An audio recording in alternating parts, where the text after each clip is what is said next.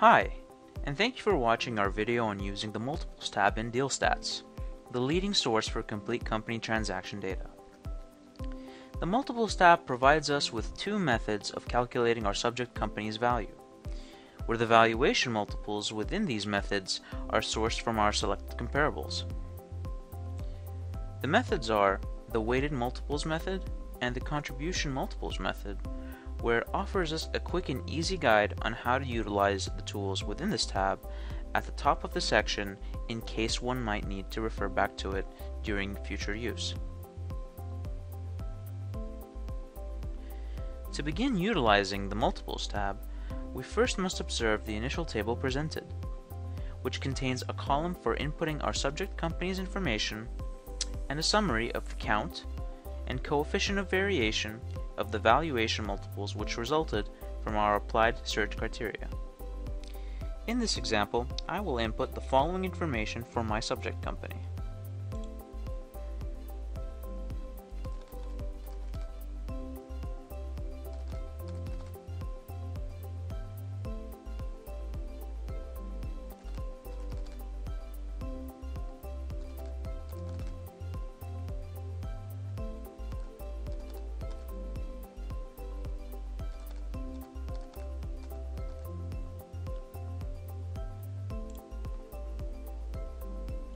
After we're done with inputting the information, we can then scroll down to the second table within the tab that presents us with the Weighted Multiples Method application tool.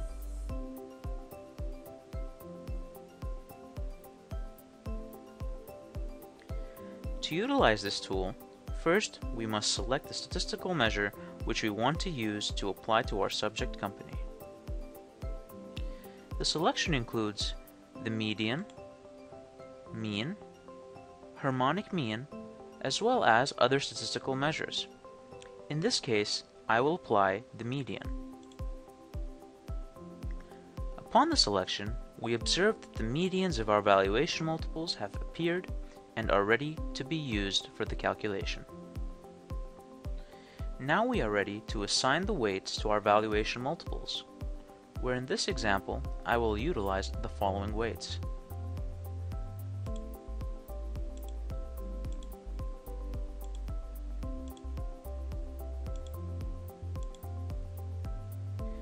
When we are satisfied with our weights, we are then presented with the weighted average value as well as the highest and lowest value for our subject company. Moving down, we will find a table that allows us to arrive at a value for our subject company by utilizing the contribution multiples method. As the previous method, we must first select a statistical measure which we want to use to apply to our subject company. In this case, I will also use the median. Now our valuation multiples appear, where we can assign to them selected percentages. In this example, I will assign the following percentages to the following multiples.